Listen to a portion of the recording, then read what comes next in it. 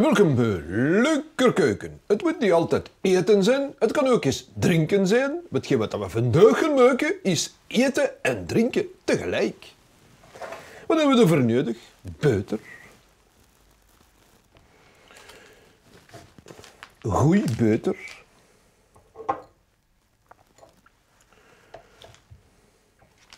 En ook melk.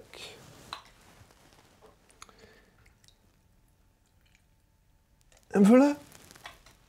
Buitermelk. Lekker gezond. Smakelijk.